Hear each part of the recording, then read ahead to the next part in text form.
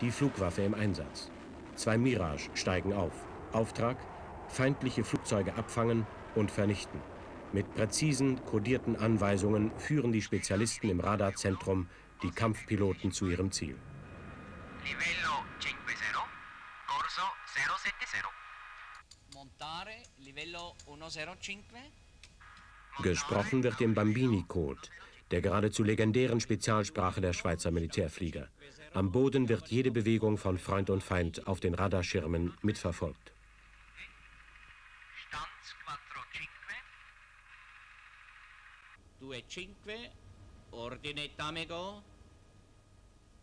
Sozusagen ferngesteuert nähern sich die zwei Mirage ihrem Ziel, das die Piloten schließlich auch auf ihren eigenen Radarschirmen erkennen können.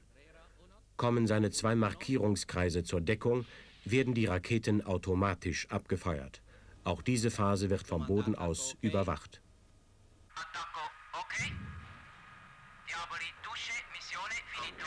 Feind vernichtet, Auftrag ausgeführt.